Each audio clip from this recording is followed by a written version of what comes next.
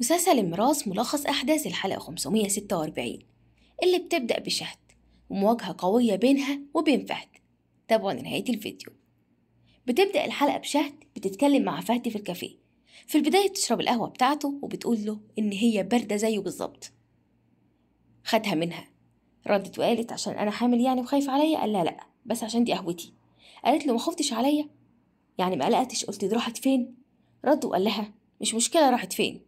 دي آخر حاجة ممكن الراجل إن هو يدور عليها بعد هروب مراته. المشكلة في هروبها من أصله. أنت ليه أصلا هربتي؟ قالت أنا كنت عارفة أكيد إن أنت هتعرف مكاني إن أنا عند أهلك. حسيت بالأمان. المفروض كنت تيجي وتراضيني هناك. اتنرفز عليها وقال لها رحتي ليه؟ رحتي علشان تعرفيهم إن أنا فاشل وإنك هربانة مني؟ وإنك انحشتي مني ومش عايزة تعيشي معايا؟ وإنك خايفة مني؟ سبتيني لأهلك يهزقوني ويهينوني. ويخلوا كرامتي ما تسواش أي حاجة ويتهموني بالطمع. وكمان إن أنا طمعا في ورثك وإن أنا كنت عايزة أقتلك. كل ده تسيبيه وتروحي وتجري عند أهلي. كنت بتفكري في إيه بالظبط؟ إيه اللي كان في دماغك ساعتها؟ ردت وقالت أنا كنت خايفة كنت خايفة تموتولي ابني. قال لها مش ملاحظة إن أنت بتقولي ابني كتير؟ فين كلمة ابننا؟ ردت وقالت أنت مش راضي عنه. رد وقال مفيش أب ما يرضاش عن ابنه. مفيش أب بيبقى عايز أصلا يقتل ابنه. لكن أنا خفت عليكي خفت على قلبك ما يستحملش. أنا لو عليا أديكي قلبي بس تعيشي. لكن للأسف الخيار ده مش متاح.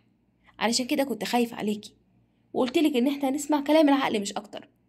لكن ده ما يديكيش الحق إن أنت تروحي وتتحامي هناك عند أهلي وتبينيهم قد إيه إن أنا واحد فاشل. ما ينفعش حتى أكون حاجة وتحطني في وش المدفع مع أهلك. أنا حر ما سكتتش ليا. فضلت تهزقني قلت من كرامتي اتهمتني بالطمع وإني عايزة أقتلك. بنلاقي بعد كده زيد بيتكلم مع مامته غدا وبيقول لها إيه الحلاوة دي كلها؟ ردت وقالت اتكلم عايز ابن الآخر. أكيد طبعا جاي عشان حاجة. بيقول لها ولا حاجة أنا قلت بس أشوفك كده وأسلم عليكي وأوصلك يعني منين ما تحبي. قالت له آه. قول بقى كده أبوك بعتك علشان تعرفوا أنا بروح فين بالظبط؟ طيب ريح دماغك أنت وريح نفسك أنا هتصرف في الموضوع ده.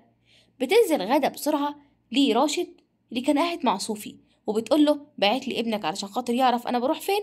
وعلى إيه ده كله ده واللفة دي كلها يعني. ما تيجي تتفضل معايا.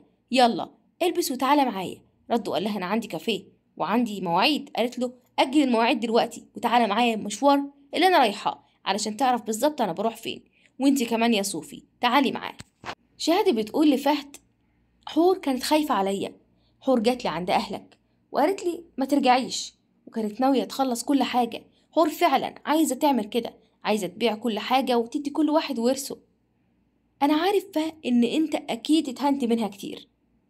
وإنها زعلتك بالكلام لكن أنا أسفة. أنا وريثة. وكمان أنا هجيب لك كرامتك. أنا فعلا هعوضك عن كل اللي فات. بس ترجع معايا على البيت. قال لها بيت أنا مش راجع معاكي على الفيلا بتاعتكم خلاص انسي. أنا لو عايزاني تيجي تسكني معايا. ردت وقالت معاك فين؟ قال لها معايا في بيتي أنا هأجر بيت. والمفروض الواحدة تبقى عايشة مع جوزها. ده المفروض يعني. إذا كنت عايزاني فعلا هتلاقيني. نروح نأجر شقة ونقعد فيها. لكن رجوع تاني للفيلا بعد الإهانات دي كلها مش هينفع. قرري وفكري يا شهد. يا إما تبقي معايا يا إما ترجعي الفيلا. بتصدم شهد طبعا بالقرار اللي أخده فهد. أما بالنسبة لهيفا اللي ماسكة الخاتم بتاع فارس بتعيط وبتقول له سامحني أنا ما كانش قصدي كل اللي حصل ده. الخاتم ده أكيد كنت جايبه علشان خاطر تديهولي علشان تخطبني بيه. أنا كمان الفلوس كانت معايا كنت ناوية أديها لهم علشان يسيبوك. لكن لما رجعت الشقة تاني ما لقيتش فلوس فيها. قلت أكيد هما رجعوا أخدوا الفلوس. أنا آسفة جدا. أنا لازم أنساك وأعيش حياتي وأتجوز. أنت قلت لي أيوه إن المفروض يكون فستان الفرح ده يبقى الكفن بتاعي. لكن بجد أنا مش عارفة أعمل إيه. يوسف شرط عليا علشان يكتب لي نص ثروته يبقى لازم نتجوز وده اللي أنا هعمله. خديجة بتدخل بسرعة على أوضة آسيا وقاعدة بتفتش فيها. لكن مرة واحدة بتتفاجأ بوجود آسيا. وكانت خديجة فاتحة الدرج وبتدور فيه وبتلاقي دواء. وبتيجي مرة واحدة آسيا وبتقول لها عمري ما شكيت فيك يا خديجة. أنا كنت ممكن أشك في أي حد إلا أنتي. أنتي يا خديجة؟ قالت لها لا انت فهماني غلط. أنا كنت بنظف وبرتب. قالت لها بتنظفي وبترتبي بإيه؟ مش شايفة معاكي حاجة يعني. وكمان من إمتى بتشتغلي بإيدك؟ أمال فين الشغالات ردت وقالت لها طيب أنا أنا هقول على كل حاجة. يعني أنا بس كنت بدور على التليفون. أنا حسيت إن التليفون ده مسؤوليتي ولازم إن أنا أدور على التليفونات اللي بتضيع دي. قالت لها فعلا؟ تدوري على التليفونات. بس أنا ما قلتلكيش دوري عليا يا خديجة. أنا قلت لك مين بس اللي بيدخل الأوض. قالت لها ما أنا لها خلاص يا خديجة أنا عرفت كل حاجة. خديجة بتروح وهي منهارة لجوزها عز الدين وبتقوله عاجبك كده عاجبك اللي حصل أهي اسيا خلاص شكت فيا وعرفت كل حاجة ومصيرها كمان هتعرف أنت اللي عملت فيا كده أنت اللي خلتني أشك في كل الناس اللي حواليا أنت اللي خلتني أدخل الأوضة بتاعت اسيا وأدور على أي حاجة أنت اللي خلتني أشك في كل الناس اللي حواليا بسبب إنك مش عايز تقولي مين القاتل وكمان مخوفني وعايشة معاك في رعب وبتقولي إن أنت هتدبسني في موضوع القتل أصلا وده اللي خلاني أدخل وأدور على أي حاجة. ما طالما التليفون بتاع جواري اختفى يبقى في حاجة هتحصل. رد وقال لها وانت إيه أصلا اللي دخلك غرفة اسيا ردت وقالت أنا كنت عايزة أشوف أي حاجة تدل على القاتل. أنت مش عايز تقولي حاجة بس على فكرة أنا مش هسكت. لو ما قلتليش من القاتل أنت قلت لي قبل كده إنك هتدبسني فيها؟ لا. أنا بقى اللي هخليك تشيلها يا عز الدين. بيتفاجئ راشد وصوفي بالمكان ال beauty center اللي غادة كانت بتدور عليه بقالها فترة. وكل يوم والتاني بتنزل علشان تدور على أحسن مكان تاخده علشان تعمل فيه الصالون بتاع التجميل. وأخيرا استقرت على ده. وخلاص هتظبط فيه وهتبدأ مشروعها الجديد وده اللي كانت مخبية عن راشد كل الفترة دي. فهد قاعد في الكافيه وبيجي آدم وبيتكلم معاه بيقول له قول لي بقى إيه حكايتك. بقالك تلات أيام بايت هنا. إيه اللي حصل؟ قال له مفيش. يعني مش مرتاح شوية. قال له مش مرتاح. تقوم تبات في الكافيه تلات أيام. قال له يعني شوية مشاكل كده. هو فين راشد؟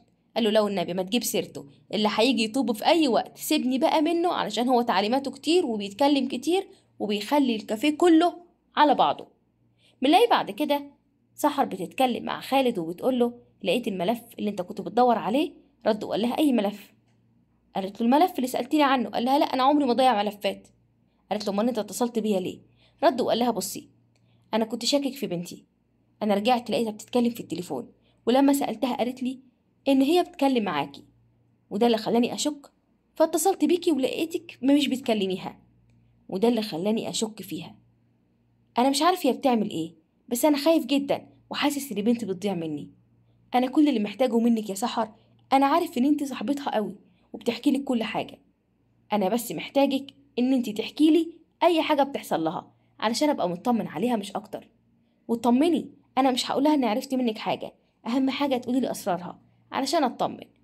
وكمان مش هقول لها أي حاجة علشان ثقتها فيكي ما تتهزش.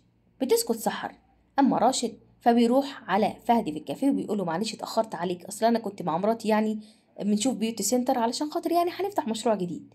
قال له فعلا؟ قال له أيوه بس ما تقلقش. الكافيه برضه هيبقى معايا وأنا يعني هشوف ده وهشوف ده. والأولوية طبعا للكافيه ما تقلقش.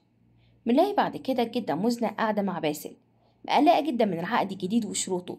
خاصة إن الشرط الجزائي كبير جدا وإنها مقلقة جدا بسبب الموضوع ده. لكن طبعا باسل بيقول لها إن المشروع ده والعقد ده المفروض إن إحنا نمضيه لأن دي صفقة كويسة جدا مع الراجل ده اللي اسمه خليل. ألف من يتمنى إن هو يتعاقد معاه. مش أنت برضه عرضت الورق على المحامي بتاعك؟ ردت وقالت أيوة. وطمني وقال لي كل حاجة قانونية بس أنا مش مرتاحة برضه. رد وقال لها الموضوع ما يتفوتش. صفقة مع خليل محدش طبعا يقدر يتشارك معاه بالبساطة دي. بنلاقي بعد كده يوسف بيقول لإبراهيم أنا هتجوز خلاص بكرة. قال له طيب يعني عايز نعمل لك أبارك لك مثلا ولا في حاجة ممكن أعملها. رد وقال له آه تفتح أوراقك وتسجل نص أملاكي وثروتي لهيفا قال له أنت بتتكلم بجد؟ يعني أنت مأمن لها؟ معلش يعني في السؤال. رد وقال له لأ مش مأمن لها. وعارف إن هي انحاشت مع فارس وعارف إن هي رجعت معاه وعارف إن بينهم وعارف كل حاجة. لكن كان شرطها إن أنا أكتب لها نص أملاكي علشان تتجوزني. أنا عارف كل اللي بيحصل من ورايا. وكان بيحكي وهو بيعيط. وبتخلص الحلقة على كده وده كان ملخص الأحداث الحلقة الخمسمية ستة وأربعين من مسلسل الميراث. يا رب الملخص يكون عجبكم ما تنسونيش في ال like والاشتراك في القناة وتفعيل الجرس علشان يوصلكم كل جديد. أشوفكم على خير في فيديو جديد. bye bye.